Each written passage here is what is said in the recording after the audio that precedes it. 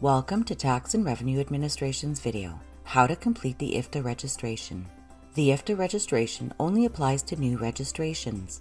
A registration is new if the carrier is applying for an IFTA license in Alberta for the first time, is a corporation that amalgamated and the successor entity is registering, or the carrier has not had an Alberta license in the previous four years.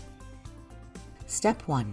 Go to tracs.finance.gov.ab.ca. Select Next on the TRACS availability page. Sign in.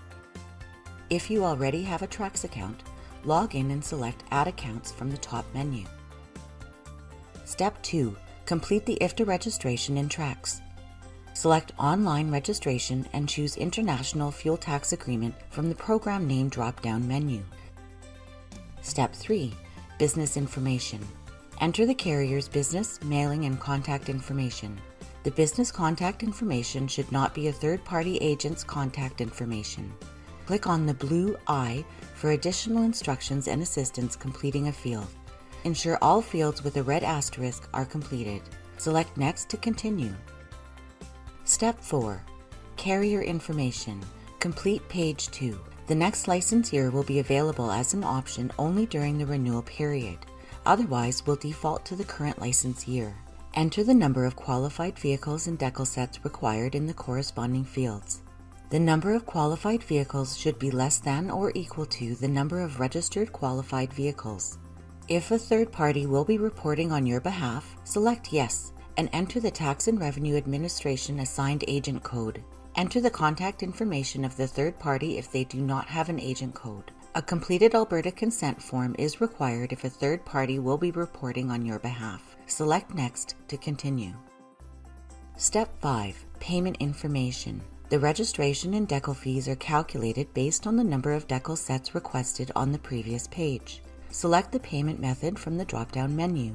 If you are paying by credit card, select TRACS Online Credit Card and select Next. On the next screen, enter the payment details and select Submit Payment. Select Other Online Payment to pay by e-transfer, PayPal, or cash at any Canada Post location using a third-party service provider. The third-party service provider will charge a small fee for their service. You will be required to complete the payment and upload the confirmation before proceeding. If paying by check, print the payment slip available on the pending page and attach to the check. Step 6 Review page. Review the information provided on the previous pages and select Previous if you need to go back and make changes. Once you have confirmed that everything is correct, scroll down to the Certification section. Select Yes in the first part of the certification section to receive all correspondence electronically in TRACS. Select your position from the drop down menu. If you are an agent and have authority to complete this registration on behalf of your client, select an individual with delegated authority. Select Submit to send the completed registration to TRA. Step 7 Pending Page. Note the reference number at the top of the pending page. This number will be required if you need to contact TRA regarding your registration. You can print or download a copy of this page for your records by selecting Printer Friendly. Step 8 Remittances. Your registration will not be approved until payment is received in full. Confirmation of payment must be received during the registration process if paying using a third party service provider such as PaySimply or Plastiq. If you are paying the registration fees by check, you must scroll down on the confirmation page to the Payment by Check section and select Print Payment Slip. The payment slip must be printed, attached, and sent with the check to TRA to ensure the check is applied to the correct account. Step 9 Approved Accounts. You will receive an email notification informing you that the IFTA registration has been approved. Log in to your TRACS account using the link in the email.